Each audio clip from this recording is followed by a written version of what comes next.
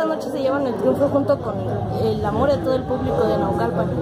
Pues la verdad es que la gente, tú la escuchaste, tú viste, nos premiaron con dinero, la gente coreaba tanto diva como demasiado y pues bueno, la verdad les agradezco mucho es, este, sentimientos encontrados porque yo eh, pocas veces al año estoy aquí, pero las pocas veces que estoy aquí la gente se entrega con todo y estoy muy contento.